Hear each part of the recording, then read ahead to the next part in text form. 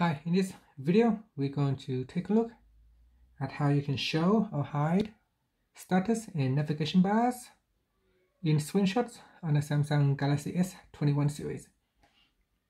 Now first tap on the home key to go back to your home screen, then swipe down at the top and tap on the settings button.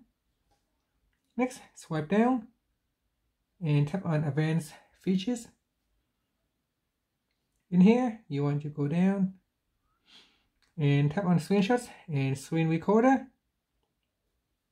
Then tap on high status and navigation bar switch to turn it on or turn it off. Now if we switch it on and when I'm taking a screenshot, you can see here in my screenshots, it does not show the navigation bar or the status. Now the now if I tap on that, you can see here it does not show because if we are open in this view, then we're actually seeing the status bar on the phone, not from the picture. So if you tap on the picture, you can see in the picture there is no status bar or the navigation. So let's turn off. So you can see at the bottom here, there also no navigation bar.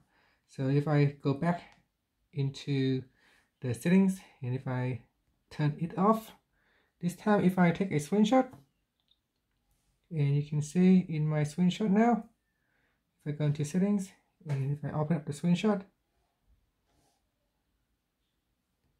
And this time you can see my screenshot shows the status bar at the top and the navigation bar at the bottom. So this is from the picture itself. And this is from the other picture. And that's it. Finally you can tap on the home key to go back to your home screen Thank you for watching this video. Please subscribe to my channel for more videos.